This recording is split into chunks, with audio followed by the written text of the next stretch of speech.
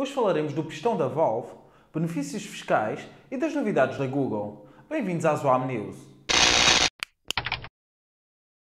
Começando por hardware, depois da apresentação da Xbox One, a Microsoft informou que a nova versão de Kinect estará disponível e será comercializável em PC, oferecendo mais informações sobre este facto na Build Conference em 10 de junho. E por falar em Xbox One, o disco rígido de 500 GB que vem com a consola, onde teremos que instalar os nossos jogos, não será substituível, como vemos na Xbox 360. A Valve e a XI3 anunciaram que estarão presentes na conferência E3 2013 e que lá mostrarão a chamada Steambox, também conhecida como Piston. Este equipamento terá 1 TB de disco, 4 portas USB 3.0, 4 portas USB 2.0, duas mini DisplayPorts e tanto o CPU como o GPU serão atualizáveis.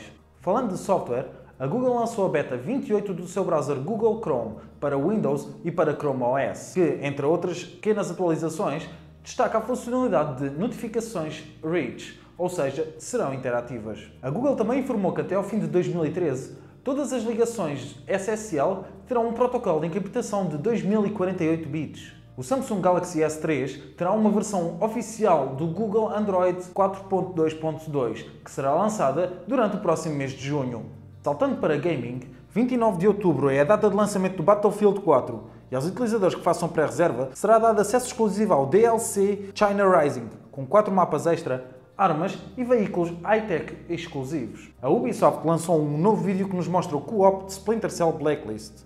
Este modo incluirá 14 missões exclusivas incluindo algumas que são 100% em stealth e algumas outras que nos darão a liberdade de escolher que abordagem ter no jogo. A Nintendo anunciou que no próximo dia 11 de junho fará a sua conferência Nintendo Direct, onde, entre outros, se falará dos próximos jogos Mario, Mario Kart e Super Smash Bros.